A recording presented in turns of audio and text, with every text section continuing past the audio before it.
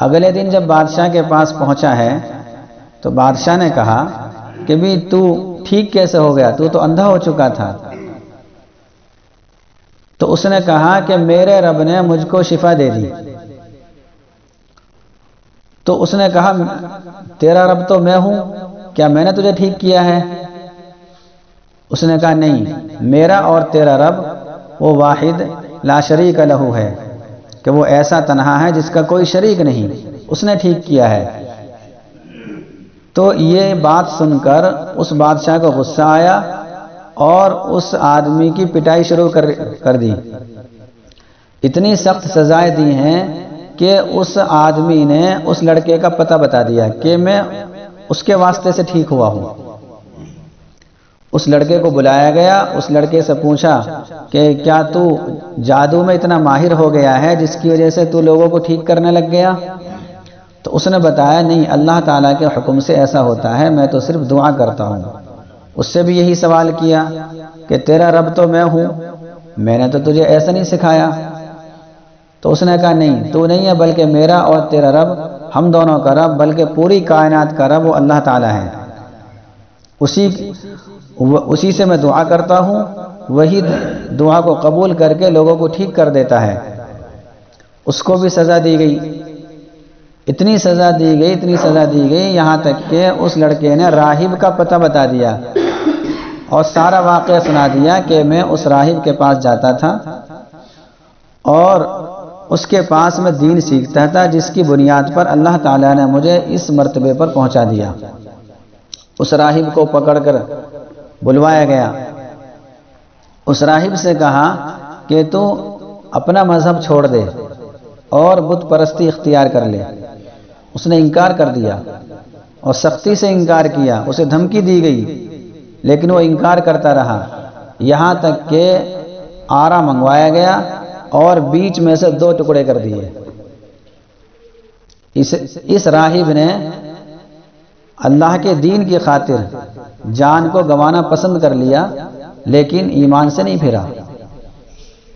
अब लड़के को भी यही धमकी दी गई कि देख जैसा इसके साथ हशर किया है, वैसा तेरे साथ भी होगा। तू भी अपने मज़हब से बाज आ जा। उसने कहा, नहीं, ऐसा नहीं हो सकता। तो इस लड़के को चंद लोगों के हवाले किया गया। और उन लोगों से यह कहा गया कि इसको पहाड़ की चोटी पर ले जाओ।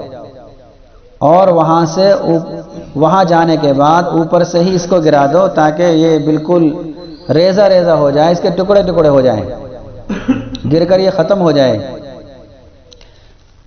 तो ये ये लोग इसको ले चले और जैसे पहाड़ पर पहुँचे हैं तो इसने अल्लाह ताला से दुआ की कि अल्लाह ताला इन लोगों के शर से जैसे तो चाहे मेरी हिफाजत कर दे। इतनी दुआ करनी थी कि पहाड़ में जलजला आ गया, वो लोग गिर गए, ये सही सालिम वापस आ गया और बादशाह के पास चला गया। भागा नहीं, बादशाह के पास चला गया। बादशाह ने कहा भी तू कैसे वापस आ गया? और जिन लोगों को तेरी हलाकत के लिए हमने मुतन किया था, जिनको भेजा था, वो कहाँ गए?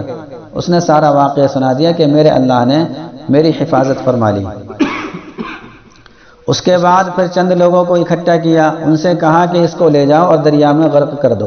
पहले इससे तो ये कहना कि अगर ये ईमान कबूल ईमान से फिर जाता है, तब तो इसको छोड़ देना। और अगर ईमान से ना फिरे तो समंदर में कश्ती को गर्क कर देना। तो ऐसा ही हुआ। इसको ले गए साथ में। जब दरिया में पहुँचे हैं, बीच में पहुँचे हैं तो अल्लाह ताला से इसने दुआ की। अल्लाहुम्मा अकफिनीहिम बिमा शिता। कि अल्लाह, तू मेरे लिए काफ़ी हो जा जैसे तू चाहे। यानी मेरी इन लोगों के शर से हिफाजत फरमा।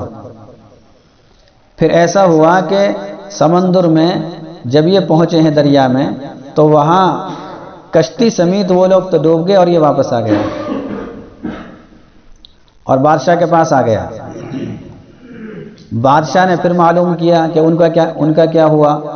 उसने बताया कि उनका वही हुआ जो पहले वालों का हुआ था, कि मैंने अल्लाह ताला से दुआ की और अल्लाह ताला ने मेरी हिफाजत फरमा ली और वो सारे के सारे लोग दरिया में गर्क हो गए, डूब गए।